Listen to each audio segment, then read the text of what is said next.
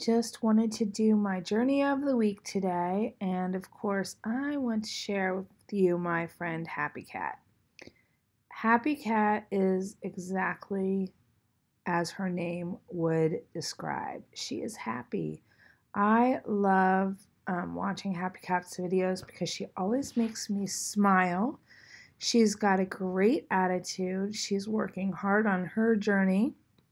And while she lives across the pond, it feels like she's right here with me. So I just wanted to um, introduce you to this young lady, and I know most of you that follow me probably have already checked out her channel, but if you haven't, make sure you head over there and um, watch some of her videos, subscribe to her you'll see that um, she shares with us what it is like to be on the weight loss program Slimming World, which I believe is something um, you that they do over in the UK. I had never heard of it prior to meeting Happy Cat, but um, yeah, it's pretty neat, and hopefully we'll get some more information. She's got a Q and A coming out, and uh, one of my questions was for her to give us some details concerning the difference between Slimming World and Weight Watchers.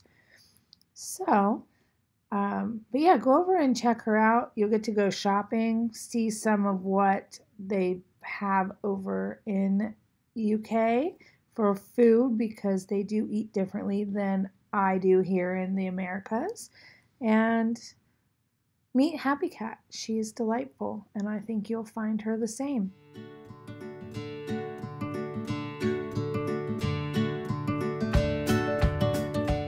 I'd just like you to take a peek at her week seven weight loss weigh in check in video. Normally, I introduce you by doing a first video that they posted, but I think I'm going to change things up a little bit and I'd like to celebrate where um, my my shout outs are. So, week seven for Happy Cat.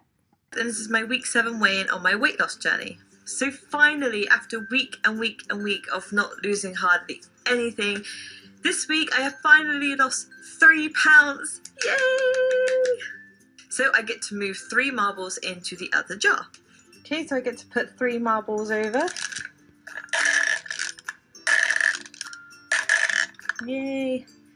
The marbles have started filling up now. So, because of this, this means I finally get my half a stone award. Yay!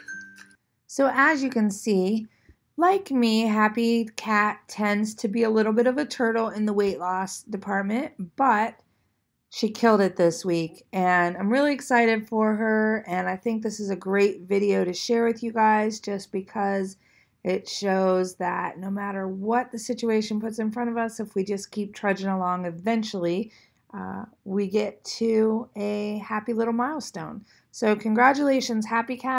And to the rest of you, I hope you will check out Happy Cat's channel and give her a thumbs up on this video, subscribe to her, let her know I sent you her way, and I'll be back again soon with another Journey of the Week.